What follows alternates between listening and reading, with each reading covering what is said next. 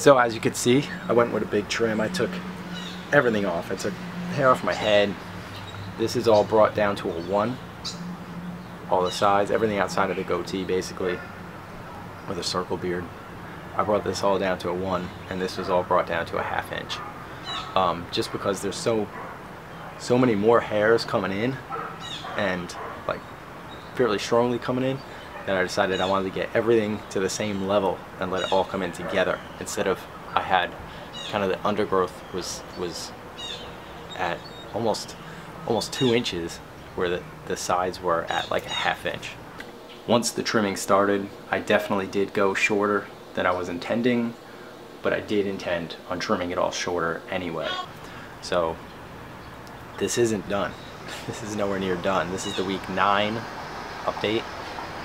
Just getting everything to the same level to come in together. But the updates are going to keep coming and the beer journey is not over.